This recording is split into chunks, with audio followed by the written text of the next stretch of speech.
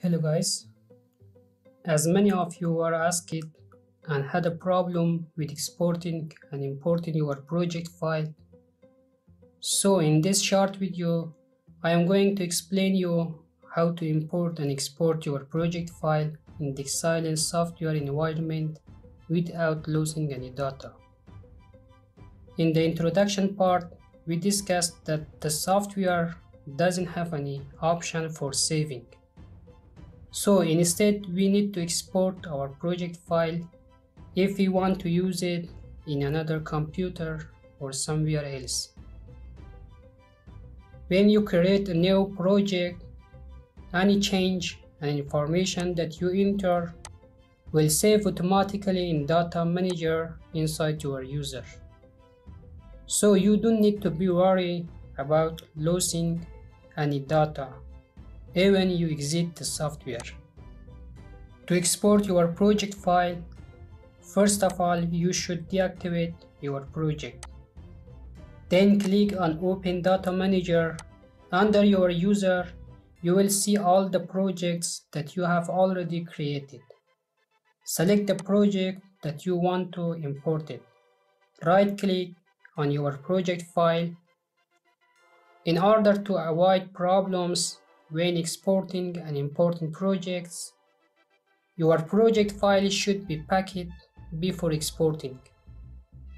So select the option Pack External Reference and tick them.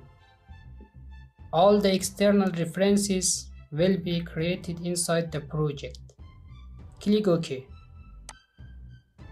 Now you can export your project file whether clicking on the export data menu or you can do that by right clicking on your project file. Then click on export. Projects or any folder in the database can be exported as DZIP or PFD format, but it is recommended to use PFD format because it is improved for handling even very large projects. Let us export them in the desktop, click on save. If you want to export data in intention period and it is external data files, so mark them. Also from here you can select your Power Factory version, then click on execute let us check it so this is your exported project file. Let us import it to our software if it works and make sure that there is not any missing data.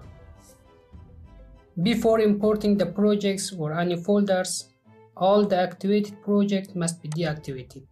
So there is not any active project go to the file. From import, click on data PFD, this ideally, then select your project. From here, you can select new path. Let us create a new folder and name it as exported project file. Click OK. Then select your new folder and click OK and execute it. Now let us go to the data manager and select your folder then activate the project that you have imported. Let us take a load flow calculation to see if there is not any missing data. So the load flow calculation is successful and there is not any missing data. So we are happy. Let us open a new project we should have some extra composites and relay models. Here in this project, I installed some extra overcurrent protective relays. To export such a project file, you should pack all your devices before exporting in order to keep all the frames and settings from changes you can pack them from here but in my case I already packed them So that is all for this video. If you found it useful, please like the video, also subscribe. Thanks for watching. See you in the next video.